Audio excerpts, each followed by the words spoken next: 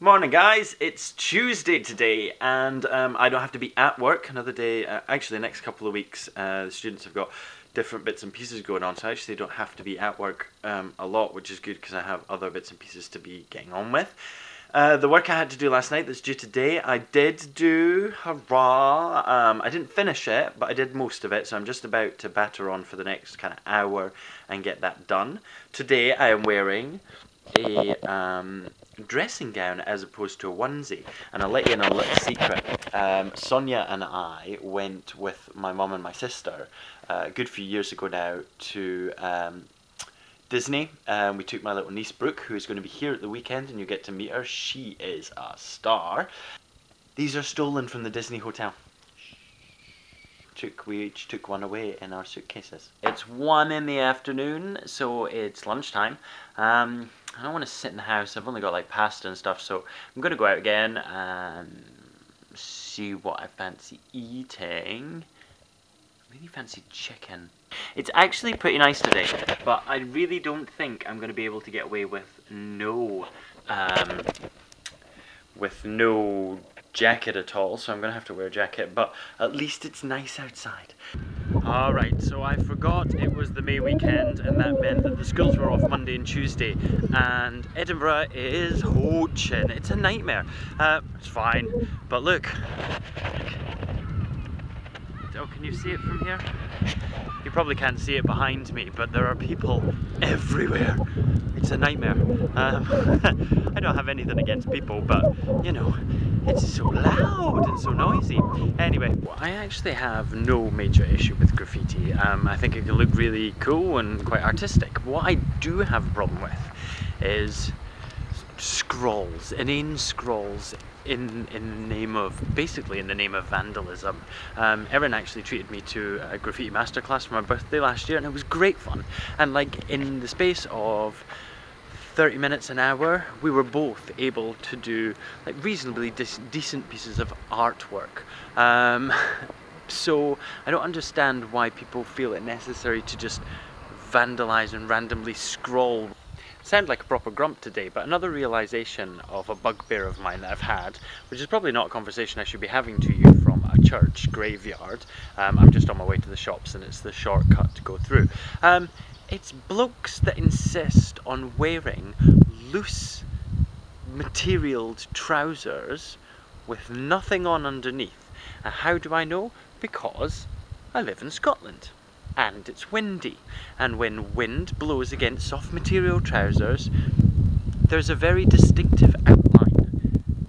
And that was a far less productive day out than yesterday, but, uh, not yesterday, Sunday, but that's okay, you know. I went for a little walk, uh, saw a little bit of really rubbish graffiti, which I spoke about.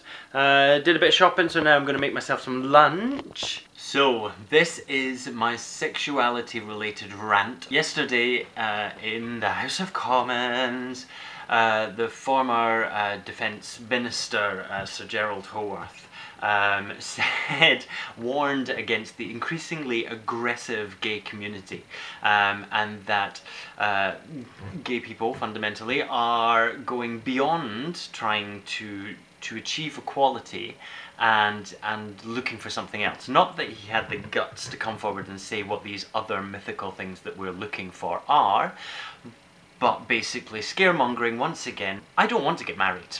And to be completely honest, even if I meet the perfect person for me, I don't really want marriage. That's my personal belief. But I think it's still ludicrous that in this day and age, with everything that's that is wrong with the world, there are children in Africa starving.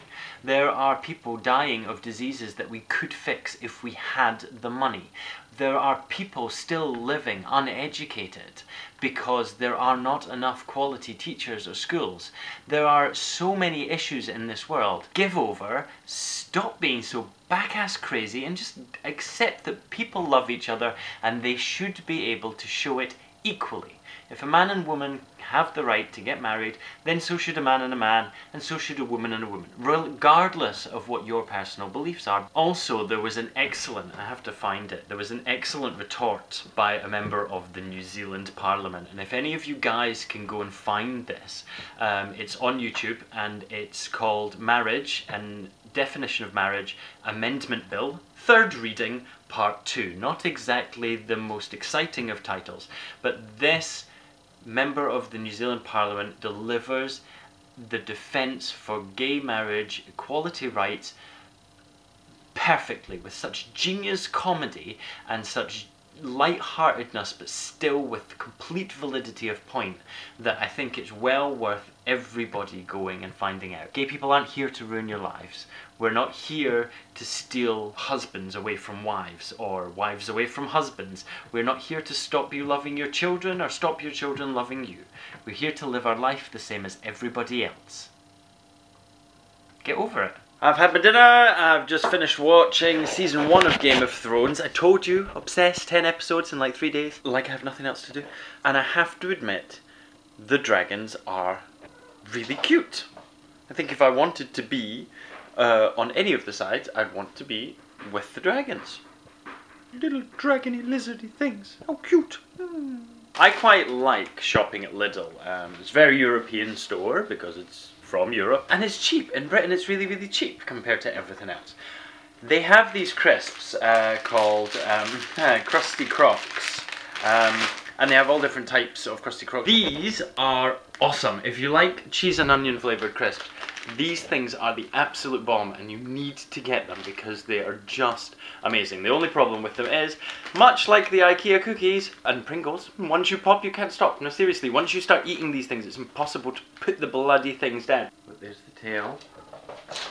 What a lunatic! Hey Robson, what you doing? So I've had a really good, um, I've had a really good day today, and that's me just heading off to bed. Um, and tomorrow night I'm going for a meal with all the people from Seabass Kid and the people that were involved in the launch, which should be fun. So I'll go, but we can speak about that tomorrow anyway. I'm off to my bed now to sleep. Night.